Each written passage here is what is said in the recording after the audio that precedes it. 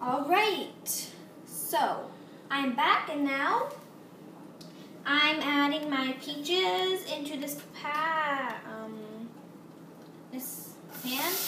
Cool. Ah, that scared me. I, I got one peach out, but that's okay. So that's in there, and I'm now gonna add this half a cup of half a cup of sugar. I mean one cup of sugar. I'm sorry. I'm sorry. And now my tablespoon of lemon juice.